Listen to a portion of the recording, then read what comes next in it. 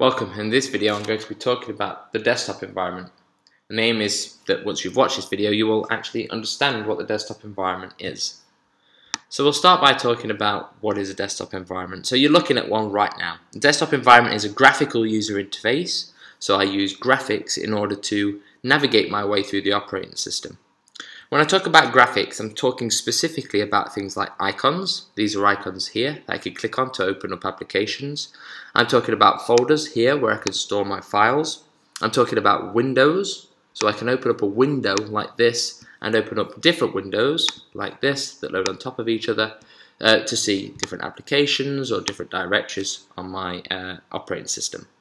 Also, as part of a desktop environment, I get the facility for help, so this is the help center here for macOS 10 Mavericks. And I also get toolbars which I can access as well. So that's what the desktop environment is.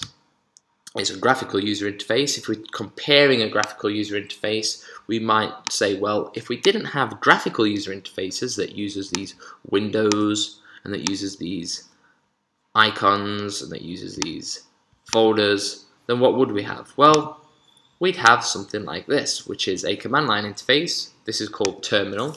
Um, Windows um, command line interface is called command prompt if you want to access that. But what I could do with this is if I, if I just show you here, if I want to navigate my way through folders using a graphical user interface, which is what most of you would do, you would simply open up a Finder window like this. Here are all my folders in my home drive if I want to go into a folder, for example the um, desktop folder, I would just click on the desktop folder. Here's all the files and folders in there. If I want to go to the, um, the zip folder, I click on the zip folder and there's all the files and folders in there. So it's a very much a point and click environment.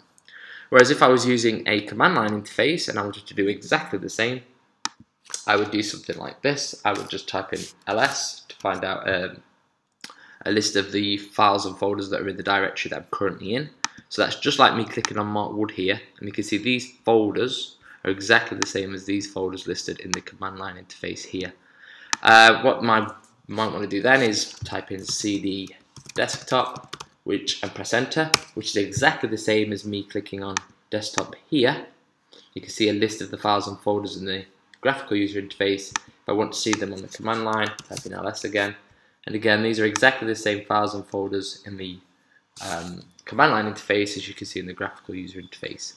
So uh, when computers were first developed, there were none of these graphics, and we did actually have to navigate our way through the operating system using this command line interface. But obviously, as um, computer hardware has developed, so has the software, and we're now able to have these graphical user interfaces.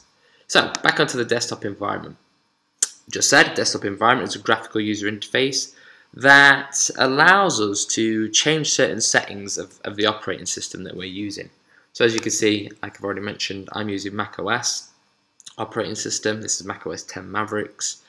Um, obviously, there's other operating systems like uh, Windows that most of you will probably be familiar with. Uh, Windows have Windows 7, they have Windows 8. There's also uh, Linux operating systems such as Ubuntu uh, which is free if any of you want to download that operating system onto your computer. Um, and like I said, what the desktop environment allows us to do is it allows us to make certain changes to the settings of how we interact and use our operating system. So on a Mac system, if I were to go down to these system preferences down here, and it tends to be the control panel on a Windows operating system, uh, Windows desktop, we can change certain features that I'm already sure that most of you know. So for example, I might want to click and change my desktop background. If I want to do that, I could just change my desktop background like that. I'm just going to keep it blue, I think, just because it's easier on the eyes. What other things can I do? I can change the icon size um, here. So to do that, um, in macOS 10, I would go to the Finder, I would go to View, show View Options. I wanted to change the um, icon, uh, the folder size, I can do that. Uh, what else can we do? Also in the system preferences, I could change things like the dock. Um, this is the dock on uh, Mac OS operating system. So in this desktop environment, the dock is quite large. I might want to shrink that and make it much smaller. Uh, I could change the screen resolution, so I won't do that because this video will probably all mess up if I do that. But if I wanted to change my screen resolution, you can see currently I'm, I'm having a resolution that allows me to have large text. If I wanted more space, I could actually change the resolution so it looks like everything's got smaller on my screen, but I can actually get more on my screen. Um, if I had a mouse attached, I could change the mouse settings so the mouse is more sensitive or less sensitive.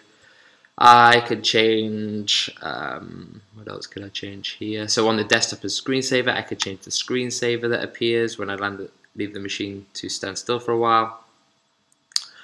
Uh, I could change the brightness, for example, on the display. I can make it darker, I can make it lighter. I could play around with the sounds.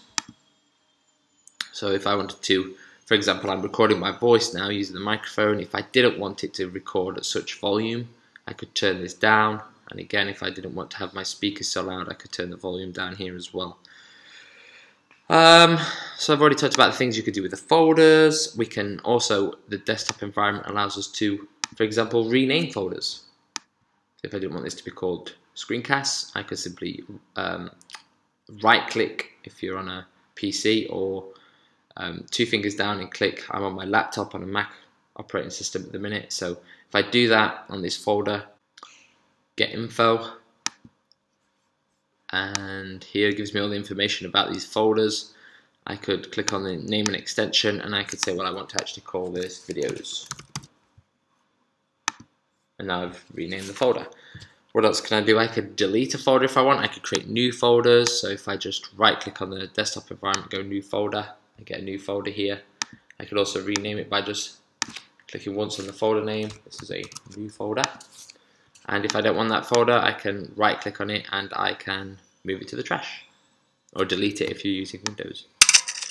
So I can move folders. If I want, I can literally move a folder within a folder. So to do that, again, it's just a drag and drop. Let's say, for example, I wanted this videos folder inside the zip folder or the zip folder inside the videos folder.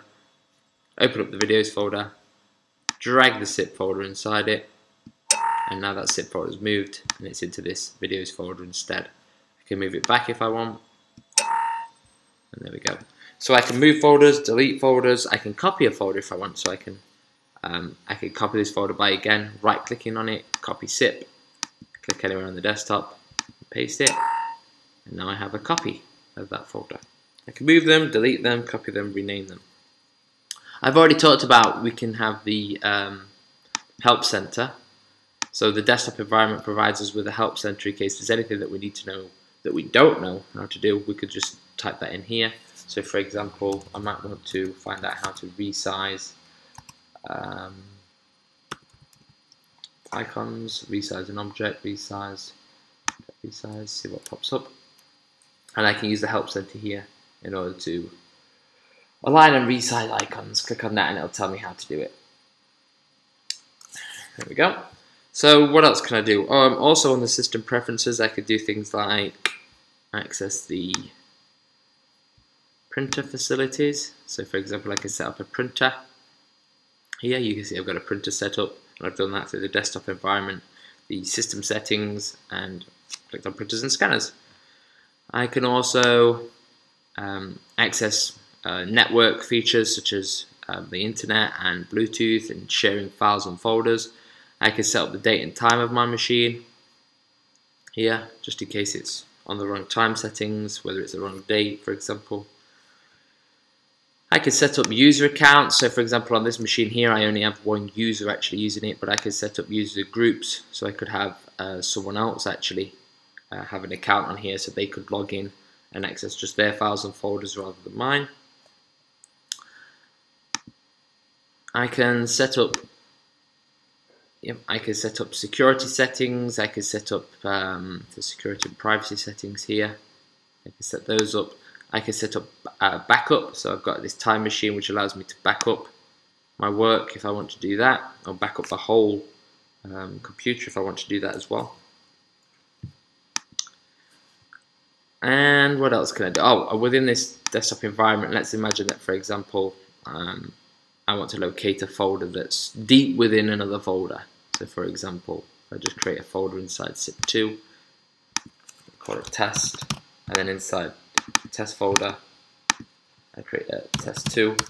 And let's say, for example, it can be quite um, tedious to say, well, I want to access the test2 folder, so I'm going to go in here, in here, in here, and it takes me that long to get there. So what I could do is I could set up an alias, which is basically a shortcut. If I right click on this, and I can then make an alias, and then drag that here onto my desktop, what I could do now is rather than having to click through here, through here, through here to get to the folder, I can just double click this and it takes me straight into the same folder. So all of these things that I've just showed you, they, they can all be done because we have this desktop environment. And yeah, it's very intuitive, it's very, um, so that means it's very easy to use, and it obviously is for beginners a much more easier way of navigating through our operating system as opposed to this command line interface here. So that was understanding the desktop environment and what you could do with the desktop environment.